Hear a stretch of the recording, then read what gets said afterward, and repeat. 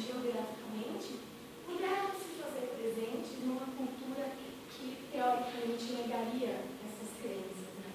E aí isso me pegou, então eu quis buscar uma explicação, vamos dizer, científica para isso, porque explicações místicas e esotéricas a gente tem aos montes. Mas aí eu fui buscar na, eh, na psicologia, um livro que fala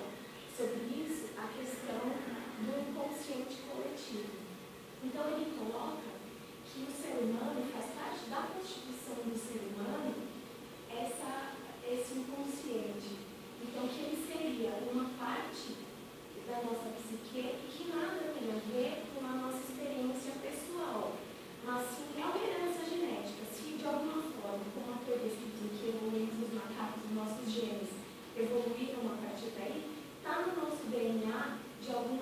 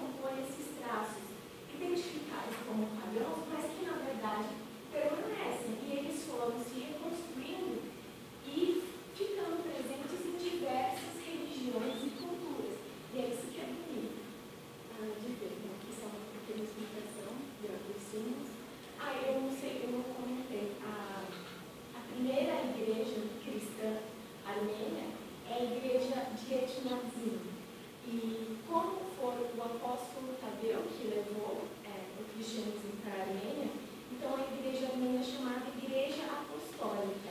Ela não faz parte da igreja do Vaticano, do Papa, mas ela tem o seu próprio Papa, que é chamado em Armênia de Catolicos. Mas eles têm uma boa convivência.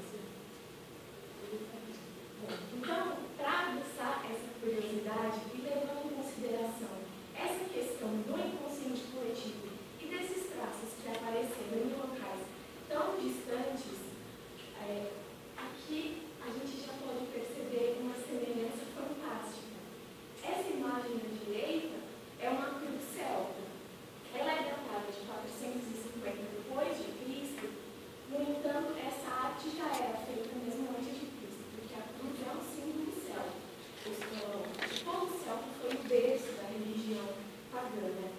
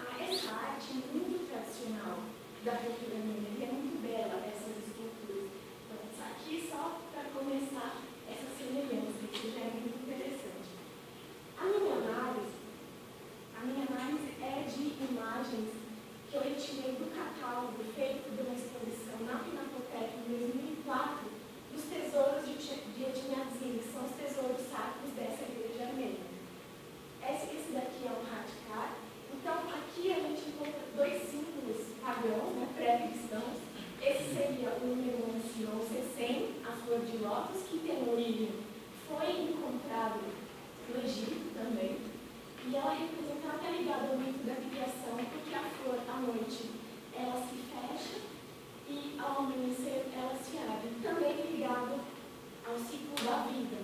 Lembrando que no paganismo há essa crença de continuidade da vida, então ela não termina, mas há um ciclo de vida, morte e renascimento.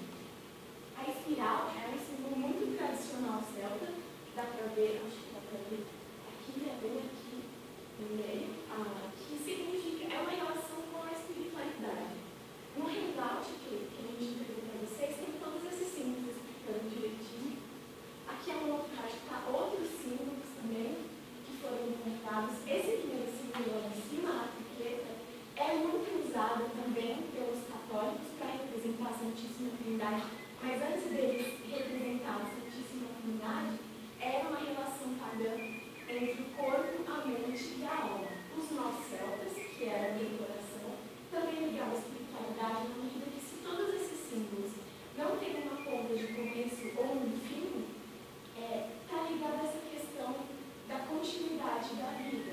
O nó da eternidade também celta, vai passando um pouquinho mais rápido, mas vocês podem olhar depois as imagens melhor no final.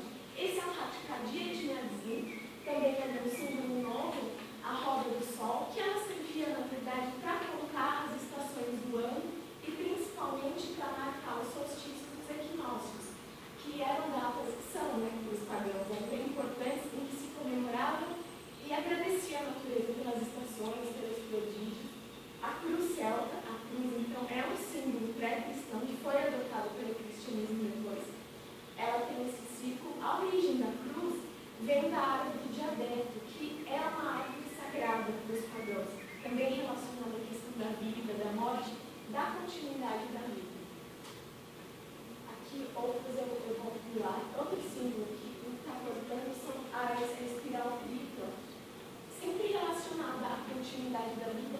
Esse símbolo também apareceu na, nos escritos budistas, né, que você falou do budismo, e na Irlanda neolítica, ou seja, em vários locais do círculo, que é muito tradicional de várias culturas fenícias, sumérias, celtas, egípcias, apareceu muitas vezes.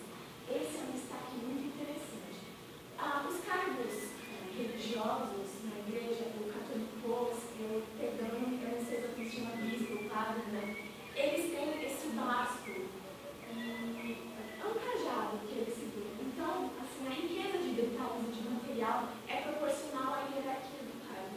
Eu não sei se vocês têm familiaridade com esse símbolo, que ele se chama Ouroboros, que seria sim um símbolo da continuidade da vida. Do infinito é representado por uma serpente ou um dragão, também duas figuras que aparecem repetidamente ao longo do mundo, das culturas, das religiões.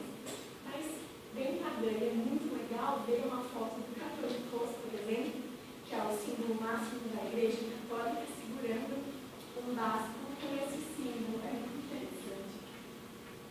E ele também foi encontrado no Egito, nas culturas nórdicas, é, dos celtas, ou seja, em diversas idades, eras pré-cristãs.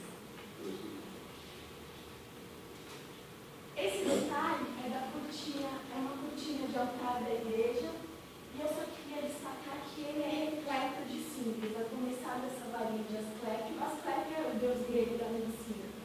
Ah, o paganismo armênio assimilou muitas coisas do, da religião do paganismo grego. O símbolo máximo é o crescente, que no paganismo representa a deusa, né, a grande mãe,